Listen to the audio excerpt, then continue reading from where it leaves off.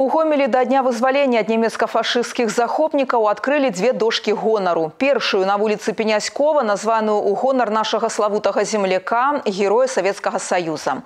Гамельчанін Дмітрый Нікандравіч Пеняськоў удзельнічаў у Вялікай айчыннай вайне з сакавіка 1943 года.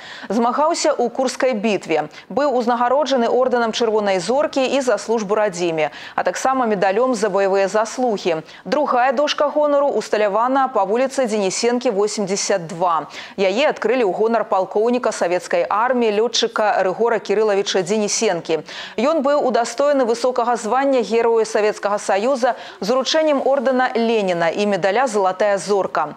Ганаровы грамадзянін Гомельскай вобласці таксама быў узнагароджаны двума ордэнамі чырвонага сцяга, ордэнам Александра Неўскага, трыма ордэнамі айчыннай вайны. С Григорием Кирилловичем я был знаком на протяжении более восьми лет.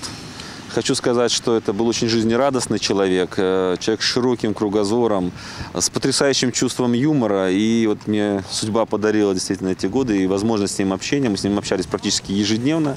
Человек был очень коммуникабельный, очень контактный. Мне всегда поражало даже у него... Он вел фотоальбомы различных мероприятий, фотографировал, встреч. И очень щепетильно, педантично, просто как профессиональный музейный работник или профессиональный историк фиксировал вот историю.